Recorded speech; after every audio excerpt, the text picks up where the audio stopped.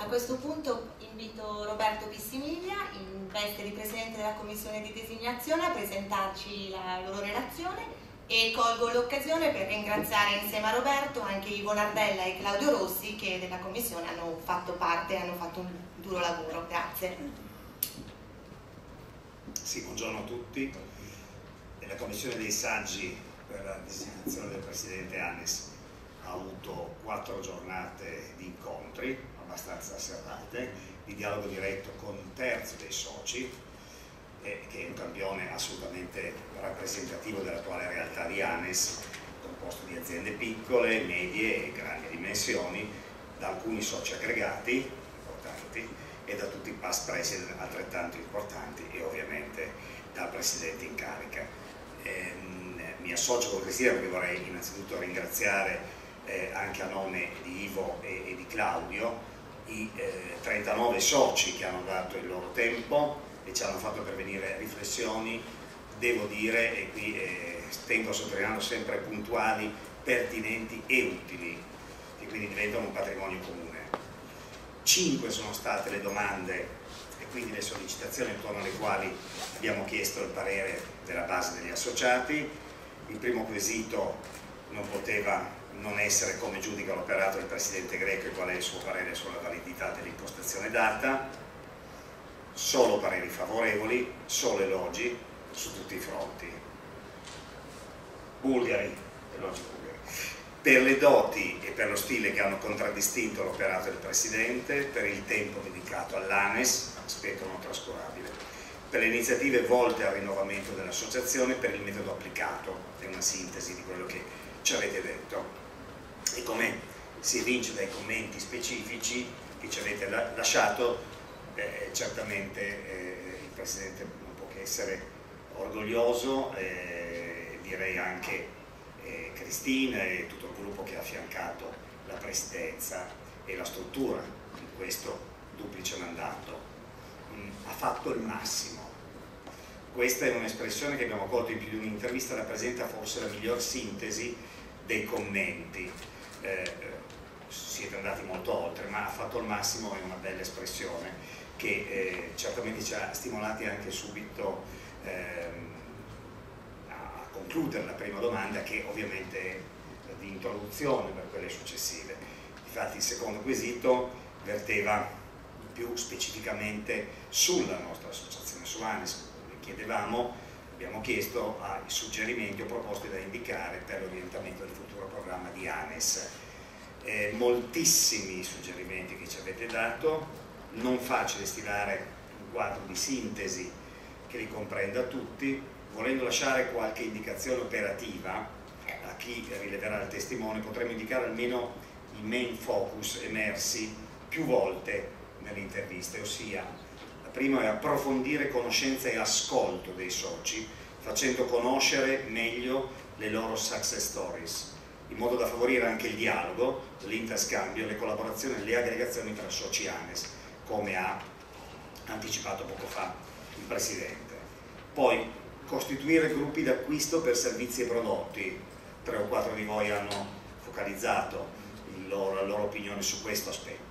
Favorire lobby anche nei confronti di banche per agevolare le linee di credito, proseguire con programmi di formazione anche a distanza, anche in house, anche a editori non associati. Trovare nuove formule di business e di income per l'associazione, questa è sicuramente una scommessa importante per il futuro. Terzo, eccoci a, a, al quesito intorno al quale poi votavano tutti gli altri, a un candidato da segnalare per la prossima presidenza di Annes, quale sarebbe secondo lei il profilo ideale del futuro presidente, quali requisiti dovrebbe avere eh, beh, sono emerse chiaramente alcune linee guida del profilo ideale del nuovo presidente, quella di un imprenditore di esperienza, con doti di negoziatore, con competenze multicanale e che possa mettere tempo a disposizione dell'associazione. Strettamente connessa con il mandato del futuro presidente era la domanda, eh, considerando le difficoltà del momento, come valuterebbe un modello di governance di ANES in modo più allargato e collegiale. Questa domanda ha riscontrato pareri assolutamente favorevoli, se per governance intende una più specifica declinazione e attuazione di quanto già messo in atto con l'attuale comitato di presidenza, visto quasi come un CDA di un'azienda. Da sottolineare che molti soci a questa domanda hanno risposto, eh, ritenevo che fosse già così, eh, la governance eh, mi sembrava fosse già ben allargata. Bene, abbiamo registrato qualche parere dubbioso o negativo all'ipotesi di una più allargata e marcata collegialità, ma quello che sottolineerei è comunque l'attenzione, l'attesa per una leadership chiaramente espressa. Infine l'ultima domanda che abbiamo posto una specie di sondaggio, cioè nel panorama del settore dell'editoria e della comunicazione identifica o conosce altri soggetti con cui ANES potrebbe stringere delle alleanze strategiche, se sì quali, e ritiene sia un percorso utile da esplorare immaginando l'ANES del futuro sulla strada delle alleanze eh, non avete avuto nessun dubbio, o quasi, vanno cercate, esplorate e possibilmente messe in atto. La metà dei soci dà direttamente luce verde in questo senso, con almeno nove associazioni segnalate dai soci per una possibile strategia così, di alleanza. Anche in questo caso abbiamo notato alcuni dubbi o dei distinguo, alcuni soci hanno espresso peraltro parere favorevole a iniziare con verifiche di fattibilità di possibili alleanze decidere. Solo 4 i pareri negativi sul totale dei 39. Va peraltro sottolineato che non era compito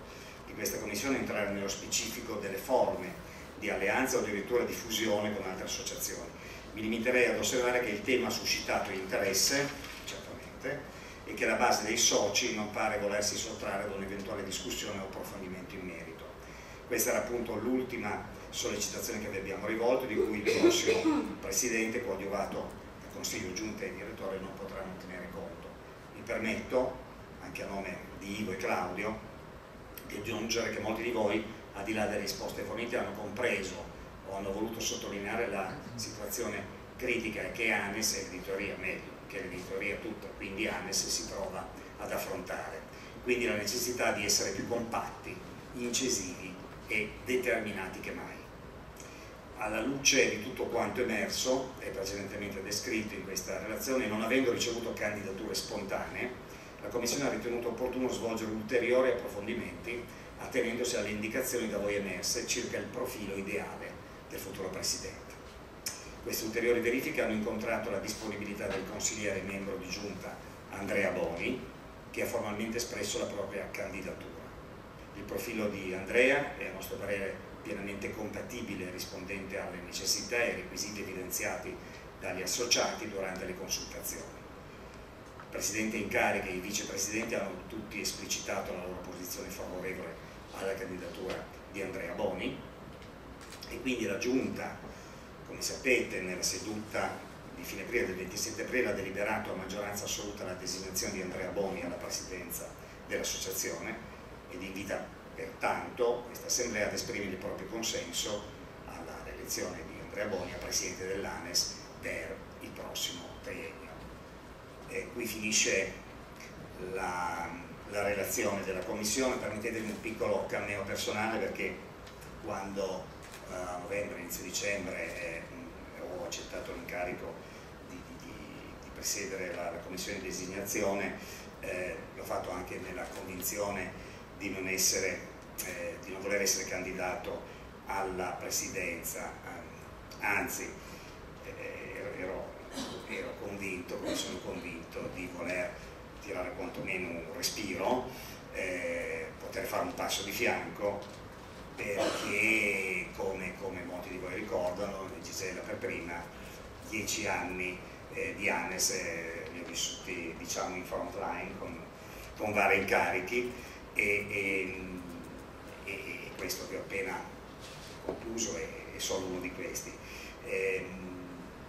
io penso che certi momenti ci sono delle priorità che vanno rispettate,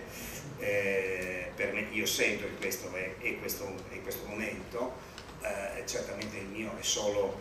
un, eh, un, cambio di sedia perché resterà inalterato eh, il mio impegno, il mio ingaggio eh, in ANES per i valori che ANES rappresenta, per i progetti che ANES saprà mettere in campo e mi sono appuntato per l'imprescindibilità per chi fa il nostro mestiere a essere parte di ANES. Quindi mi vedrete meno in front line, ma ANES resterà nel mio front art, questo è sicuro. Grazie. Grazie.